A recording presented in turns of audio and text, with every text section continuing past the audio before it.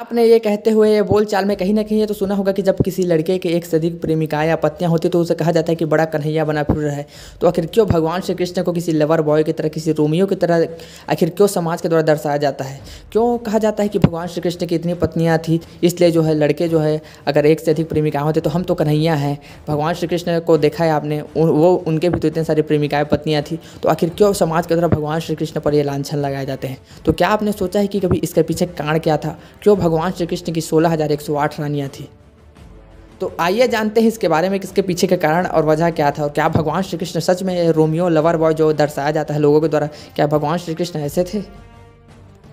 तो सबसे पहली बात पुराणों के अनुसार भगवान श्री कृष्ण की सोलह हज़ार एक सौ आठ रानियाँ बताई गई हैं। लेकिन लेकिन असल बात यह है कि भगवान श्री कृष्ण के असल में केवल आठ ही प्रमुख पत्नियाँ थी, जिनमें थी माता रुक्मणी, जामवंती, सत्यभामा, कालिंदी, मित्रविंदा, सत्याभद्रा और लक्ष्मणा। ये उनकी प्रमुख आठ पटरानियाँ थीं। और यह झूठ है कि भगवान श्री कृष्ण की सोलह हज़ार एक सौ आठ पत्नियाँ थी, क्योंकि भगवान श्री कृष्ण अपने आठों पत्नियों के साथ सुखपूर्वक रह रहे थे। लेकिन एक दिन स्वर्गलोक के राजा देवराज इंद्र आकर उनसे प्रार्थना करते हैं कि, हे हे श्री कृष्ण आप जो है दैत्यराज भौमासुर, जिसे नरकासुर के नाम से भी जाना जाता है, उसके अत्याचार से जो है देवता ग्रहण त्राही त्राही कर रहे हैं। क्रूर भौमासुर ने वरुण का छत्र, अदिति के कुंडल और देवताओं के मणि छीन ली है और वह त्रिलोक विजयी हो गया है।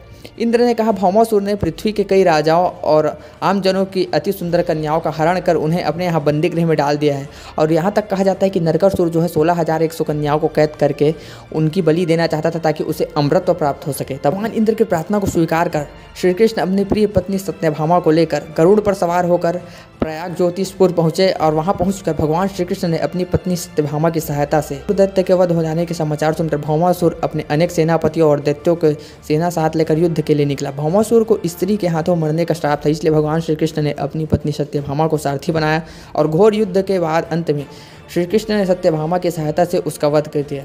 इस प्रकार भौमासुर को मारकर श्री कृष्ण उनके पुत्र भगदत्त को अभयदान देकर उसे प्रयाग प्राग ज्योतिष का राजा बनाया। भौमासुर के द्वारा हरण के लाई गई सोलह हज़ार एक सौ कन्याओं को श्री कृष्ण ने मुक्त कर दिया। ये सभी अपरहित नारियाँ थीं। या फिर भय के कारण उपहार में दी गई थी। और किसी के माध्यम से उस पर कारागार में लाई गई थी। वे सभी भौमासुर के द्वारा पीड़ित थी, दुखी थी, अपमानित, लांछित और कलंकित थी। सामाजिक मान्यताओं के चलते भौमासुर द्वारा बंधक बनकर रखी गई इन नारियों को कोई भी अपनाने को तैयार नहीं था। तब अंत में श्री कृष्ण ने सभी को आश्रय दिया। ऐसी स्थिति में उन सभी कन्याओं ने श्री कृष्ण को अपना सब कुछ मानते हुए उन्हें पति रूप में स्वीकार किया। लेकिन श्री कृष्ण उन्हें इस तरह से कभी नहीं मानते थे। उन सभी को श्री कृष्ण ने अपने साथ द्वारिकापुरी ले गए। वहाँ वे सभी कन्या स्वतंत्रपूर्वक इच्छानुसार सम्मानपूर्वक द्वारिका में रहती थी। महल में नहीं, वे सभी वहाँ भजन, कीर्तन, ईश्वर भक्ति आदि करके सुखपूर्वक रहती थी। द्वारका एक भव्य नगर था जहाँ सभी समाज और वर्ग के लोग रहते थे। तो इस प्रकार से जो कहा जाता है कि भगवान श्री कृष्ण की सोलह हज़ार एक सौ आठ रानियाँ थी। उनमें से आप देखिए कि सोलह हज़ार एक सौ कन्याओं को भौमासुर द्वारा या फिर नरकासुर द्वारा जो है, उनसे स्वतंत्र करा के भगवान श्री कृष्ण लाए थे और उन्होंने अपने द्वारिका नगरी में शरण दी थी। इस प्रकार से जो है केवल वो जो सोलह हज़ार एक सौ कन्या थे, वो भगवान श्री कृष्ण को अपना पति मानती। और यह बात बिल्कुल गलत है कि ऐसा कहा जाता है कि भगवान श्री कृष्ण ने सोलह हज़ार एक सौ कन्याओं से विवाह किया था।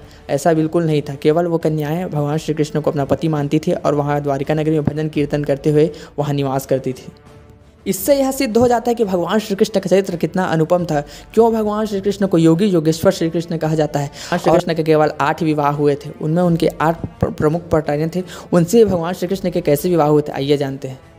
जहाँ भगवान श्री कृष्ण की सबसे पहली पत्नी थी माता रुक्मणी, जिनको लक्ष्मी माता का अवतार भी कहा जाता है। कि आप कई टीवी सीरियल्स में देखते हुए, आप कथा सुनते हुए जानते होंगे कि माता रुक्मणी जो है, अपने बाल्यकाल से भगवान श्री कृष्ण को अपना सर्वस्व मान चुकी थी, उन्हें अपने पति रूप में स्वीकार कर चुकी थी। इसी कारण से माता रुक्मणी जो है, भगवान श्री कृष्ण को पत्र लिखती हैं कि आप आइए और मुझे ले जाइए। लेकिन रुक्मणी रुक्मणी के जो भाई रुक्मी था, वो जो है, शिशुपाल से माता रुक्मणी का विवाह करना चाह रहा था।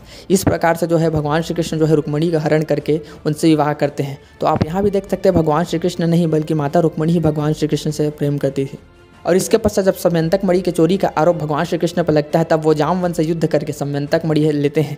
तब तब जामवन जो है भगवान श्री कृष्ण से आग्रह करते हैं और विनती करते हैं कि आप मेरे पुत्री जामवंती से विवाह कीजिए। तब भगवान श्री कृष्ण को उनका कहना मानते हुए, उनका आग्रह स्वीकार करते हुए जामवंती से विवाह करना पड़ता तो आप यहाँ भी देख सकते हैं कि भगवान श्री कृष्ण ने अपनी इच्छा से या फिर प्रेम से किसी से विवाह नहीं किया था। तब जामवंती सहित वो द्वारिका वापस आते हैं और समयंतक मणि सत्राजीत को वापस करते हैं। तब सत्रहजीत अपनी पुत्री का विवाह भगवान श्री कृष्ण से करते हैं। यहाँ भी भगवान श्री कृष्ण ने अपनी इच्छा से या प्रेम के द्वारा किसी से विवाह नहीं किया। तो इसी प्रकार से जो है भगवान श्री कृष्ण की जो अन्य पत्नियाँ थी, कालिंदी, मित्रविंदा, सत्या, भद्रा और लक्ष्मण, इस प्रकार उनका भी विवाह भगवान श्री कृष्ण से किसी स्वयंवर में या फिर किसी कांड से हुआ था। यह नहीं था कि भगवान श्री कृष्ण उनसे विवाह करना चाहते थे या वो उनसे प्रेम करते थे। तो इस प्रकार आप ये आपसे कोई पूछे अगर तो आप जवाब दे सकते हैं कि भगवान श्री कृष्ण की सोलह हज़ार एक सौ आठ पत्नियाँ नहीं, केवल आठ पत्नियाँ थी। और आप उन लोगों को यह भी जवाब दे सकते हैं कि भगवान श्री कृष्ण कोई लोमियो, कोई लवर, कोई आशिक नहीं।